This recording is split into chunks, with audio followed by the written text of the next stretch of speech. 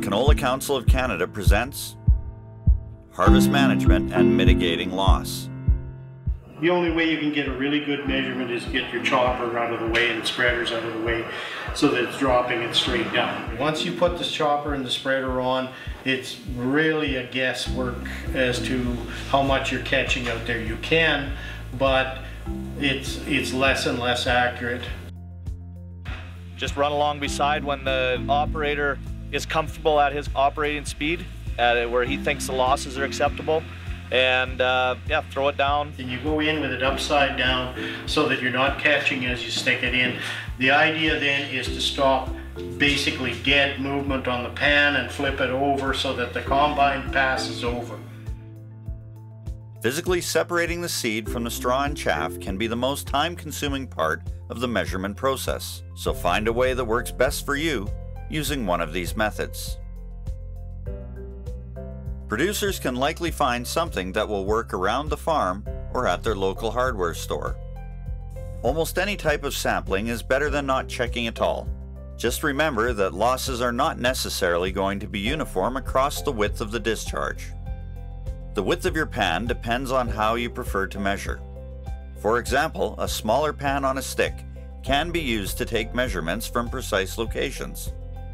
To get a feel for total losses with this method, multiple measurements across the discharge span would be necessary. A pan equal to the width of the discharge does not allow for precise interpretation of where the losses are occurring, but can reduce sampling error. There are several methods producers can use to determine what loss they are incurring based on the seed sample collected. For most accurate results, they can use a weight measurement or a volume measurement.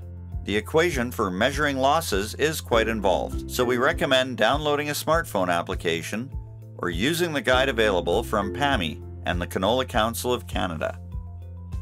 If you use the guide, you first need to find your concentration factor, which is the width of your header divided by the width of discharge.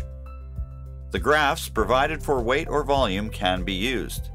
These graphs are based on a 1 square foot collection area.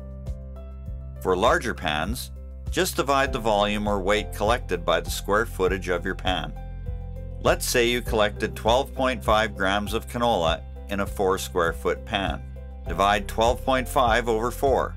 3.1 is the number we are looking for under our concentration factor of 6.